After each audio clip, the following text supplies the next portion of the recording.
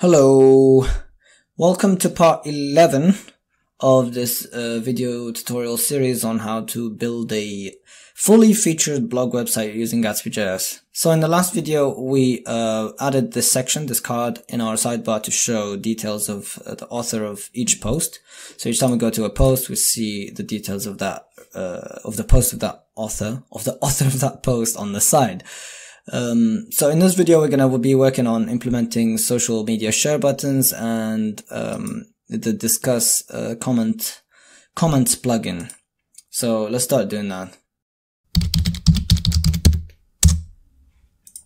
And uh, let's stop the development server and let's not Gatsby. Let's commit our changes. So git add dot and git commit uh, author details details in oh my goodness I can't type. Details in single post page. Guys trust me typing and talking at the same time is so difficult. Okay but I do it for you guys. It's worth it. All right let's add the um, social media share buttons so let's go here at the bottom uh, after the card and let's add a header 3 and let's center that so dot text center. And um, let me make sure I'm recording because I made that mistake last time and I recorded a whole video without actually recording. Okay. Why is my tab behaving like this? Anyway prettier will uh, format that. So this will say share this post. And we're gonna have a a div, or I could just do dot, I don't know why I type div, uh, that's text center, with the class as well, social share um, links. And here we're gonna have all our links in an unordered list. Why is my tab behaving like this today? That's weird. Okay, so ul, oops, not li, ul, um, and then with an ally inside it and then that's going to have a link inside it.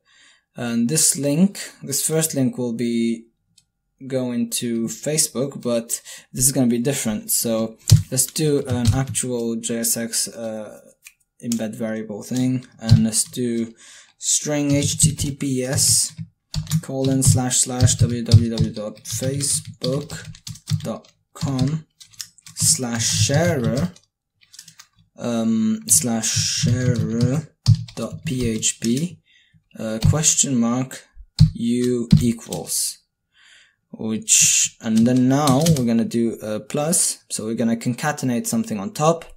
And let's actually uh, let's put our site URL in this. But let's we're gonna need it again so let's just put it in a variable. So let's do const base URL equals um, was could be anything. So for this, I'm going to do https colon slash slash Gatsby tutorial dot co dot uk and let's add that here. And I think we need to add yeah we need to add of course of course this is the link to the post so we need to add the slug. And um, we can get that I think from the from the page context. So let's get page context. We're, let's let's make sure that we're actually passing that. So for each post, yeah, we get a slug which we use in the query, but we can use as well here. So we'll get page context, and here we can do uh, page context dot slug. So this will actually form the URL of this post. Let's make sure we actually add a slash at the end here. And so this is the Facebook share button.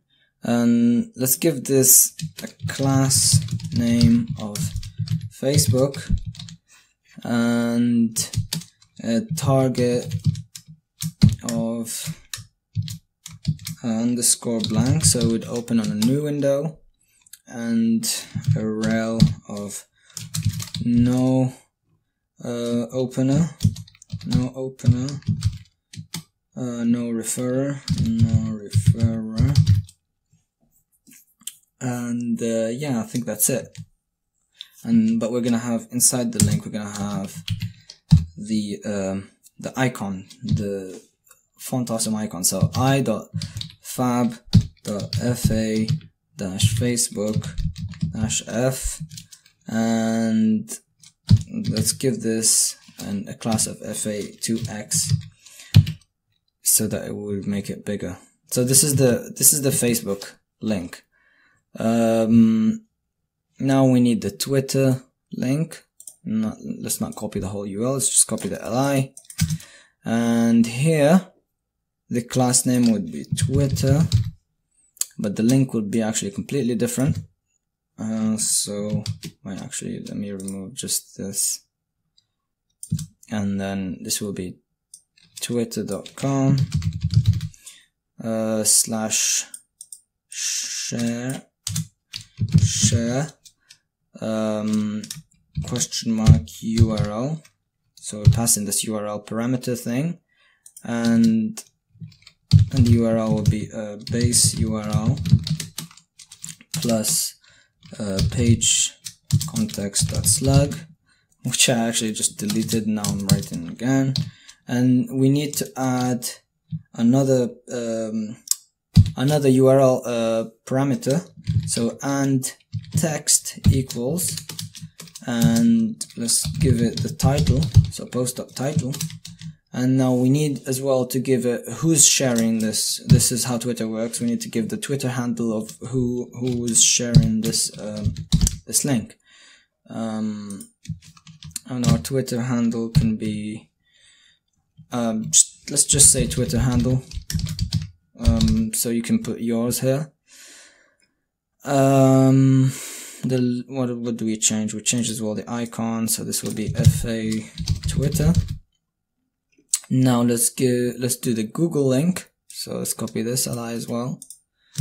Uh, let's do the Google link, and that would be that would have a class of Google, and we will have plus dot google so plus dot google dot com I think it's the same yeah sl slash URL no I mean slash share URL and then we give this URL and slug and that's all we need for uh, for Google for to share in Google uh, plus post or page uh, FA Google to get the Google icon and let's copy this and do the same for Instagram Wait, no, we're not gonna do Instagram. I'm just gonna do LinkedIn. Can't, don't think you can share on Instagram. Um, so LinkedIn, LinkedIn, and here LinkedIn as well for the icon. And this will be different. This will be uh, www.linkedin.com slash share article um, and the same thing so the URL uh, the URL parameter URL parameter URL which is gonna be base URL plus uh, the slug of our post and I think this is it for the social media share button so let's save and let's run Gatsby develop and let's see what this looks like Well, there's stylings, by the way. You can check what social share links does. Very simple things, just a margin and just to uh, put the things in a line, in an inline uh, flex display uh, in a UL. And there we go. So we have our social media share buttons and the only difference here is that I'm not using I could use any plugin for these but I don't want to uh, inflate the bundle size of our uh, files we want to keep our files as small as possible uh, for the sake of performance. So this is not going to open in a new in a new window it's going to open in a new tab. If you click on uh, Twitter you can see the title and whoever is sharing it and uh, yeah so but for google it's not going to work because this is not a real link. Yeah the link is not valid because we're going from localhost instead of going from an actual website. But uh, on an actual website of course they would work so let's add the uh, Disqus plugin. And we can do that. Before we do that, actually, we need to go to disqus.com and then we click get started. And then we click I want to install Disqus on my site. I've already done this. It's going to take you through a simple uh, process where you give it your domain name and then you register your your website. And it gives you a, a short name that we're going to use now to uh, implement the plugin. And we're going to implement it using this library called Disqus React, which is a really handy library that gives us a couple of um, components that we can use to implement um, Disqus in our website in a React uh, application. We're going to be mainly using this uh, disqus.discussion embed. Uh, so after you've got your short name, we can come back here. Uh, we don't have to stop the development server. I think we could just install npm install. Um, is, is it disqus react or react disqus? Yeah, disqus react. So disqus dash react. let's install that and let's let's actually start bringing it in so import when I'm gonna import the thing I'm only gonna import discussion embed so discussion embed from disqus react. And we need to uh, we need to pass this a configuration um, object. So let's actually do that here. So let's get our disqus short name. So const disqus short name. This will be different for you. I created one for this tutorial and it's https dash gatsby um, tutorial. Dash code dash uk and let's do the config object. So const disqus. Yeah disqus config. Oh, config equals I'm gonna do uh, object literal. And we're gonna have an identifier.